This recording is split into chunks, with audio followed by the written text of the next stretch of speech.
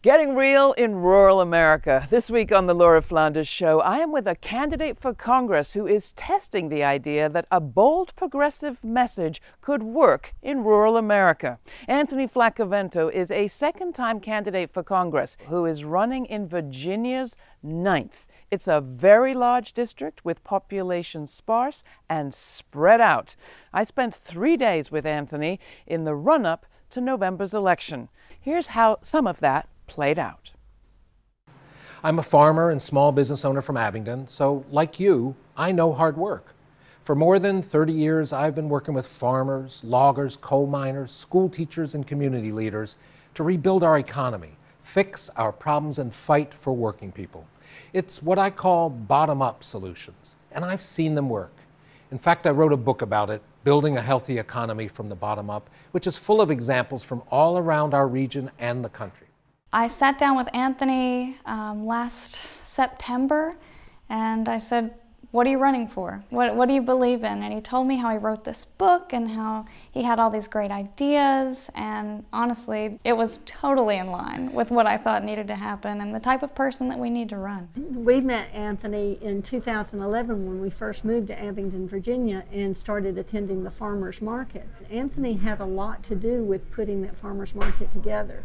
And so we've known him as a farmer for many years. Well, Anthony has been with us since the Pittston strike back in probably the 90s. People in the coal fields were for him all along.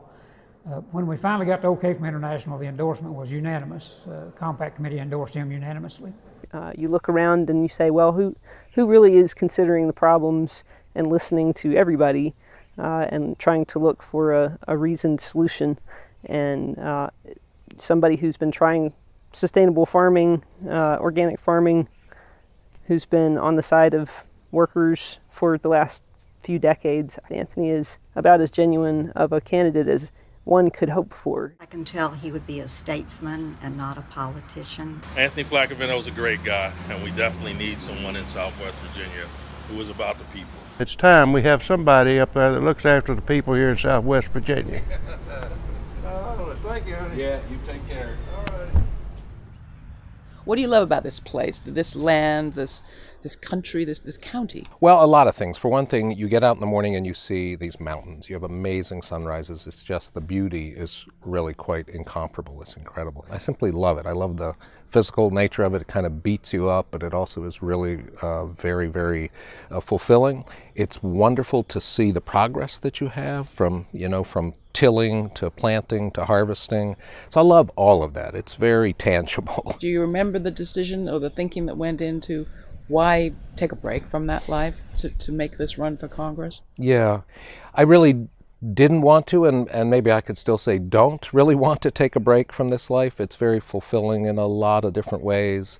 It's a part of our livelihood, and along with the local economy work, they, they add up to, I think, you know, stuff that's very satisfying. But I also realized that they just weren't enough. I mean, the, the bottom line is that we're in a situation where the world is changing very rapidly, I'd say in most respects for the worse. And so part of it is that idea of stepping up to fight bad stuff. But the biggest motivation for me is stepping up to lift up this good stuff, of which my farm and my business are just one tiny dot among all these creative and effective upwellings of, of positive change you're talking about a part of the world that in U.S. politics and punditry is seen as a, as a backwater. Absolutely. It's one of the most frustrating things. And that's, that's both sort of the so called mainstream media and punditry, but to be perfectly honest, it's also our own party. It's my liberal peers in other parts of the country. They assume, generally about rural and specifically about Appalachia, they have a sort of, oh, those poor folks idea at best.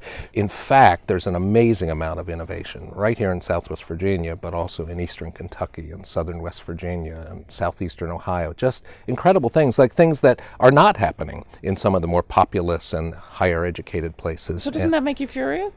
It it does. Yeah, it ticks me off totally for sure. It what really makes me angry is that after so many years of being in the midst of that and writing and speaking about it a lot, it's still the prevailing idea. You've done 94 town halls. You're going to do 100. Yep. Um, what have you learned there, and, and what are you learning about these constituents of yours?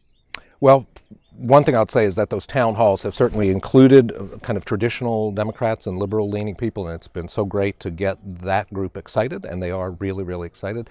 And then on top of that, it's included a whole bunch of folks that have not been in the choir. And having this much broader base of people kind of confirms this idea that a message that is, again, based on fighting the rich and powerful and uplifting everyday people is a message that a whole bunch of people in, in rural America want like you all, I feel like our democracy is is on thin ice, um, and a lot of people are suffering who need not be. While all of that is true, I also think that the way you do cross the aisle is definitely by talking, but also by delivering practical results that are kind of undeniably better for people at the community level. My name is Aiden. Um, and you stated you support innovative manufacturers and seek to provide jobs for workers, specifically those who um, might have to leave coal factories because of downsizing, my father potentially being one of them. Do you see the construction of the Appalachian Pipeline to be an opportunity for new jobs, naturally, natural resources, and industry for these workers? The main reason I'm running is because in my 33 years down here, I've just met folks like you all. I've seen what you're willing to do. I've seen what's possible. And I'm willing to give up a few years of my life to fight to be a real representative for the 9th District and to say once and for all, enough with the rich and the powerful. They got plenty. I'm a working guy. I'm going to go there and fight for working people. And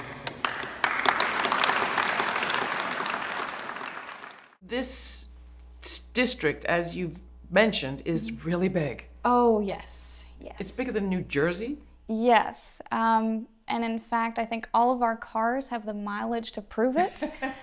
what would you say in all of these town hall meetings has been the sort of top three items that have come up? No matter what, everywhere we go, we hear about healthcare. Outside of healthcare, a big one, um, and interestingly enough, age doesn't matter on this question. Jobs in the economy, whether we're talking to people who are retired or people just starting in the workforce, jobs in the economy is a big deal for a lot of different reasons and they come from different perspectives when they're asking about it, but everyone wants to know how we're going to get more jobs and more opportunities in the Ninth District. What have you learned about Southwest Virginia during this campaign? What surprised you? On this campaign, I really learned okay, wow, all right, we're representing an area way larger than I ever thought possible, but also that no matter how far you go, the people are extremely similar whether you're in the coal fields or whether you're in Blacksburg, people share the same ideas. They might just have a different personal experience. I'm a fifth generation farmer and uh, grew up in the same house in Rich Valley, Virginia, which is uh, just uh, about 10 miles east of Saltville. We've been um, do, practicing sustainable agriculture for almost 30 years now. Been doing the rotational grazing and everything. Primarily, uh, what was what sold my father on it was uh, cost saving. Rotate grass and stockpile fescue for the winter, and then divvy it out in the, in the winter time. You cut your hay costs and completely out. That gave rise to grass finished beef. So, how did you first meet Anthony Flaccavento? Um, dealing with the, the Abingdon Farmers Market. He, he was one of the biggest sellers, and um, the market would probably not be here today as we know without him. It was just a bunch of individuals selling their wares. He he kind of helped bring us together. What difference does having that farmers market make to a farmer like you? The cash flow as big because uh, normally you sell your yearlings and whatever cull cows and two or three checks. They may be big, but they've got to last you the whole year. That's right. And just having a weekly cash income really helped. And Anthony also uh, was instrumental in starting Appalachian Harvest. Mm-hmm. What does that do? When Anthony moved here, this was big tobacco country, a lot of tobacco.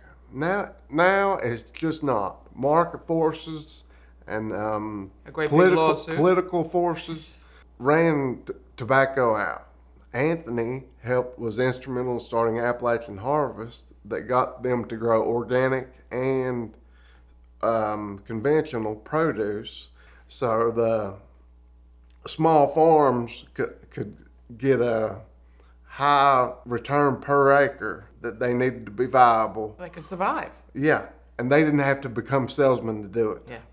Which is is is it's hard to find somebody who's willing to be out there alone and work, and then come and be a salesman It's, too. it's a lot of jobs. So, what do you think are his chances? I think they're a lot better than they were last time. Everybody has heard of Anthony, and everybody knows he will work. And the farmers are saying, "We're not getting anything now. Why not try something else?" Most people, when you say rural progressive, they're like, whoa, isn't that an oxymoron? And maybe it seems to be, but actually, there's a tremendous amount of progressive thinking here in terms of thinking and doing that lifts up local poor people, working people, and levels the playing field between the powerful and the less powerful. When Democrats decided, you know, 10 years ago, when liberal groups and progressives decided to stop messing with rural America, you know, in everything from not just politics, but the think tanks and the activist groups that will that will create a whole blueprint for progressive change and not even use the word rural in the entire thing. You know, that goes on long enough, people say, like, maybe the Republicans are right. Maybe those people don't care about us. So turning that around is first of all showing up, and secondly, listening when you show up. And then the third thing is taking some of the wisdom from here that maybe challenges some of the wisdom of liberals and progressives and creating a new way of working on this. What's this machine? What's this all about? I have black lung second stage. How do you think you got it? Working in the coal mines, eating dust, and I ran a miner uh, most of that time. How many people that have black lung get get help? And if not 100%, why not? The average uh, is 20% in the industry. So 20% of people who have black lung who make claims get accepted, their claims accepted. Yes, the, the fallacy is in the law. Most people that don't understand black lung laws, the law is only in place to, to enable you to uh, to to actually get the benefit, but you have to qualify for the benefit. It's not an uh, an automatic because you're in the mines 15 years and you've got black lung, whatever stage it is, that you qualify for benefits. That's a fallacy. You don't, and then you have to fight to get your benefits, employ lawyers, uh, get all the doctors on board, and then after you do all that and you win your claim, here comes the company, and you're in court, and it constantly harassing you uh, with their doctors that they pay big salaries to say that there's something else that's causing you to have difficulty. It's not your black lung. And with Medicare for all, you wouldn't have to go through that. Well, I think, uh, I mean, I'm on Medicare right now. The thing that I find is uh, if I go to the doctor for anything to deal with my black lung, Medicare pays for it. So, what does this part of the country need? What do, what do you want from a congressman or from Congress right now? We can't rely on coal in Appalachia to make a difference. Uh, it's on the way out. It's been on the way out since I started in the mines in the 70s. We as coal miners, I would say, I wonder if we can make it another year. Can we make it another year? They're saying we have 25 years. I put 38 in. So you can understand the psychology of the workplace worrying about if you're going to have a job tomorrow. They don't want anybody to come into Southwest Virginia and take their place. Who wants to come into coal mines and to make $25 an hour? Who? Why would you not rather work in a industrial atmosphere that's clean, healthy, and all the things? So the only incentive is it's the highest paying employment in the area, and we want to keep it the highest paying employment in the area. So to me, that's a control. It's how you control your employees and you control the environment in the community. I believe Anthony can diversify. I believe Anthony can look outside the box and bring other things to, to the coal counties of uh, Southwest Virginia.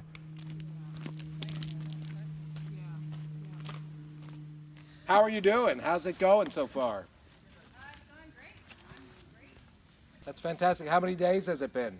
Yeah, a month and a day. Yeah, it's a month and a day. Wow.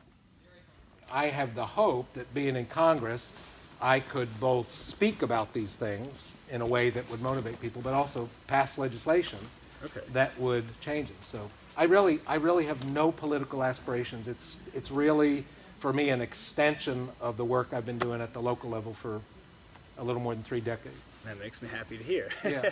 the big question is, can we build an economy that's good for people without extracting and ruining the land that we ultimately depend on? That's the bottom line in everything, right? Do we want to build out infrastructure at many billions of dollars of cost for the old grid, for a grid based on extraction? Because not only is this gas passing through communities and posing risks and threats, but it's coming from fracked wells not too far from us in West Virginia and Pennsylvania, where there's a lot of damage going on.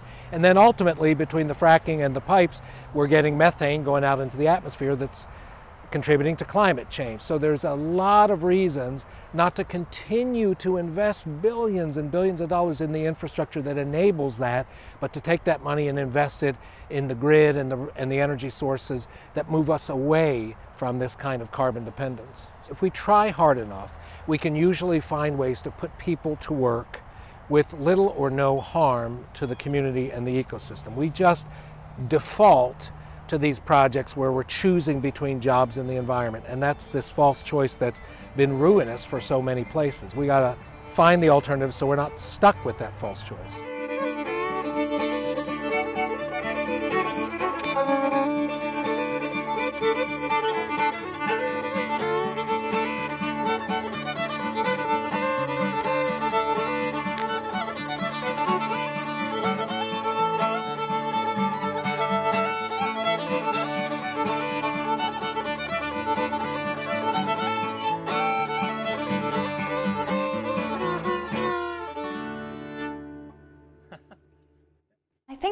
Honestly what makes this campaign different and our candidate different is the sense of family. Mm-hmm. All of our volunteers, even though we've got them spread out over such a large distance, they have access to Anthony if they want to talk to him. He's just a call or an email away. Some of the campaigns that I've seen before, a lot of times the people on your staff barely see your candidate. And in some campaigns, there are even sort of unspoken rules that the candidate doesn't talk to the staff. Like he only gets to talk to the upper level, um, and that's just not the way we do things here. Um, because part of what we believe is that if we're going to be representing the people of the ninth District, they need to know who Anthony is on a personal level and they need to know each of the staff on a personal level. What would make it easier uh, for you as, as somebody who's field directing a campaign?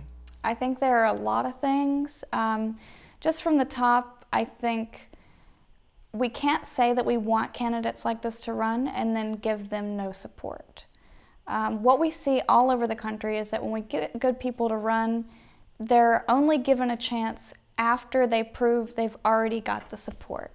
It's really a call for all the organizations out there, the party, everybody to take a real hard look at candidates and ask themselves, do we want this person to run? Do we want them to succeed? And be serious about it. People are done feeling forgotten. They are finished with that. We're fighting back, we're putting the fight back in the fighting ninth, and, and our people are representing that. Had, what, we put up three or four signs, Um, and we also had quite a few people. One lady who wasn't sure, and then as we left, yeah. she said, "I'm Oh, voting for voting, you." yeah. Um, Yeah. And several others who were saying that they were they were won over already. One even mentioned the um, ad- the Commercials. commercials, and said that they were really impressed with those. Fantastic. So, you're heading back to give some more signs out? Uh, well, to knock on some more doors. Doors. We've been leaving signs as we went. Yeah, yeah. How many signs have you gotten rid of this morning? Four, four, I think. Not bad. Yeah, yeah. That's It's exciting. It's been a very positive experience. Yeah. Yay. Is this your Well, first it's not time? over yet. Yes, it Sandy's is. she's a time, she's a virgin. so- She's a newbie. The whole area is very conservative. Um, I have lived here all my life and always just was a quiet liberal. And one of the joys of becoming involved in this campaign for the very first time is that I have uh, met more and more people who have finally come out as liberals or come out as Democrats. Uh, and so it is a conservative area with a lovely group of liberals who are finally coming out as progressives or liberals. I personally came into the campaign uh, because of gun violence in the schools. Mm. That was the thing that, uh, that, I just could not take it anymore, and Congress just kept on doing nothing uh, about it. And so that was what led me to my first Democratic meeting. Um, I have not been politically active um, like uh, Meredith has in an open way. Um, and so that I was really, uh, that was something that really uh, upset me very much. The thing that most attracted me about Anthony and the campaign is uh, more around a general thing about his integrity and his honesty and, you know, uh, the fact that his willingness to listen to people and really take in Treva's issues and you know my issues and everyone's um, you know input about what's important to us here in the ninth district. So I certainly um, agree with economic issues. Um, you know, building our communities um, from the ground up. I think that's a, a, very important issue where I live in Floyd and Reiner. I think we're going to see uh, all our Democrats turn out. I think we're going to see all our independents and progressives and people who sat out the 2016 election pouring out of their homes and houses and uh, going to the polls this time. And I think it's both because of what has happened since 2016, but mm-hmm. also uh, the fact that Anthony has done, uh, you know, by the end of this, he will have done 100 town halls. He will have talked to thousands and thousands of people across the 9th District. Um, I, I, always tell folks that in the first two months, just in Floyd County, he had talked to more people than Morgan Griffith has in eight years. Um, I think that's going to pay off. What would make it easier for people like you to run? Because in a way, you're kind of downplaying just how tough this job is one of the biggest problems, I think, is how much money there is in politics. So there's not a level playing field in terms of getting your ideas out there to normal people and so forth. More support from perhaps the Democratic Party so that, you know, you're starting off as a new politician and you don't really know all the ropes. If he could have had a little help with some how you do this, what, here's what you should do, you know. I mean, it's just, it's been a real learning curve. Publicly funded elections would make an enormous difference. If simply if you did not have to either be rich yourself, which many people running for Senate and Congress are, uh, if you want to be a working person who has to do without income for a full year, as I've basically done, as we've done, um, having publicly funded elections, some sort of system where uh, people would qualify for public support to match local donors, would make an enormous difference because fundraising is the single biggest burden. The rest of it, the organizing of the town halls, the development of cores of volunteers that cut across the spectrum, that to me has been the fun part, and that I think is actually kind of a pretty effective grassroots model that we have to offer to other campaigns. What's your message to other people who, who look at this, both the, the, the need and the challenges, and are trying to figure out the calculus? We're planning to win. We think we're going to win. If we don't win, the legacy of this campaign, I hope, will be first of all a much more energized and diverse political base in Southwest Virginia. I think there's going to be a surprise on election day. We just saw it in New York, where a very powerful candidate, not unlike yours, been in office for a long time, thought nobody was going to challenge him ever, had no fear of a grassroots candidate, and found himself ousted by a 28 year old first timer who ran as a Democratic Socialist with a very similar campaign to yours. So let's assume for a minute that that happens. Um, then what's your message? First, quit giving up on rural communities. Not only the Democratic Party, but the, lar- the larger sort of liberal establishment quit that nonsense and start putting time and energy into those communities, even if it means a little bit of trade offs in terms of where you spend on money. Second, stop assuming that the only people who can win in rural areas are people who essentially are Republican light. Uh, I'm not Republican light. And have a bold message that speaks directly to people who are struggling and suffering. That that's what people want to hear. That's what I'm about. That's why I'm saying it. But that's I think those are the two biggest things. And then the third thing is uh, don't pay too much attention to the political consultants. Focus on what you know from experience works.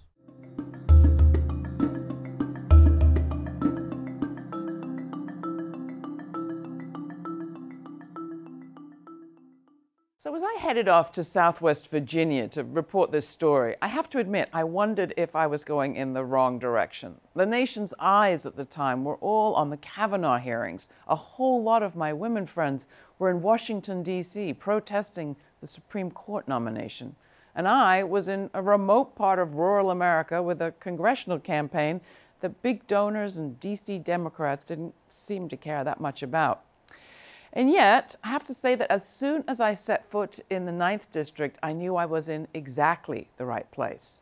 I've known Flaccavento for years on account of his work for bottom up economics. Our paths first crossed in the 1980s during the historic strike at Pittston Coal. And I'd interviewed him a few times about his work with Appalachian Sustainable Development, the nonprofit that helps family farmers. The longer I was in Virginia, the clearer things became all the key players in the Kavanaugh drama hail from rural America, from Judiciary Committee Chair Grassley to Senate Leader Mitch McConnell to turncoat Democrat Joe Manchin of West Virginia. Having more real rural progressives in Congress could fundamentally change this country's politics. But running's not easy.